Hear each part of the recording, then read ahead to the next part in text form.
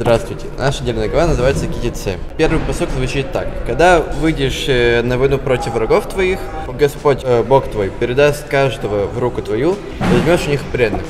Многие наши комментаторы рассказывают, то, что это не имеется в виду о людях. Это говорится о Ецрара. То, что когда выйдешь на войну с Ецрара, возьми у него, возьми у него пленных. Что имеется в виду? Был один царь, был у него островок. Он к нему обращался по разным вопросам. Островок э, по звездам предсказывал э, будущее, давал ответы, которые просил э, царь. Тут царь решил убить этого астролога. И решил его подойти спросить, типа, когда ты умрешь?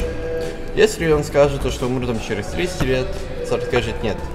Я убью тебя сейчас. Если он скажет, что царь хочет меня сейчас убить, то он этого не сделает. Как бы тем самым покажет, что этот астролог не может предсказывать. Астролог ему сказал, когда я умру, через три дня умрет царь. Что он сделал? Астролог. Он сделал так, чтобы царь работал на него.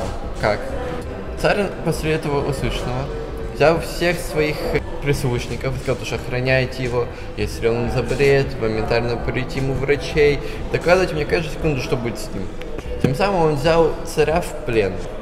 Он сделал так, чтобы царь работал на него. История нас учит то, что Исрара, э, он настолько сильный, как мы думаем. Шаббат шрам.